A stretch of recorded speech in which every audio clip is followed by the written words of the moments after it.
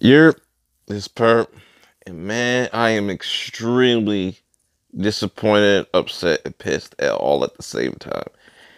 And now I know I'm pretty late to this because I just literally just found this out that Netflix has canceled seven seconds.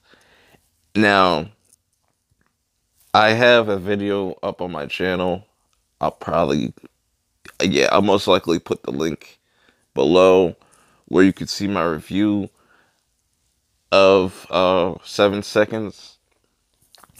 You know, and for me, this has been a phenomenal, phenomenal series.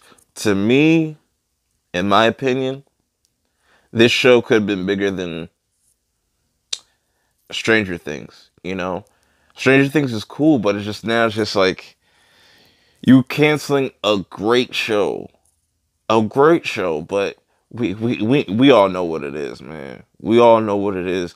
Netflix doesn't want to you know what I'm saying, shine this type of light on a show like this at this time at, at this time that we're in, you know, with the whole where, where everybody's going uh going through with race and like uh black versus white and stuff and you know, but this this is something I can relate to because, you know what I'm saying, there is a lot of corruption just in Jersey and per- just period. Not just, you know, say in Jersey City. And it is great to see a series like this. You know what I'm saying? And take all that out of it and just it's just a great story and it's a great you know what I'm saying? The acting is like on par, man. Like this show shits on Law and Order and like all those CIS, ISP, whatever the hell you want to call it, shows that are trash and never end.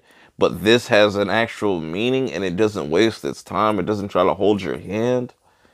And it's crazy that Netflix would get rid of a show this great, you know, because it's right up there with me with the leftovers, you know. It just, what it capitalizes on it's just good story and characters.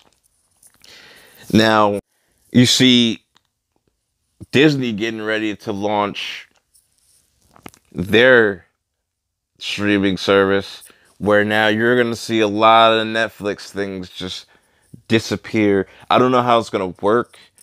I don't know if they're going to keep the Marvel stuff on there, but like if they take all the stuff that they own off of Netflix, it's just like Netflix is going to kind of be dead, man. Like I don't know. It's just there's a lot of they crank out a lot of shows, but a lot of them aren't quality. You know what I'm saying? A lot of them aren't quality like this show. This show was amazing. Like when you talk about just shows that can just do characters and story right, that's all I care about. Two things I care about in shows is story and character. If you get those right, you got me.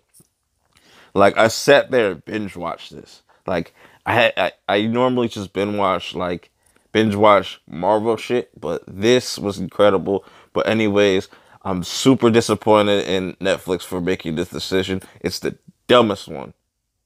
Dumbest one. But I'm out. I'll see y'all.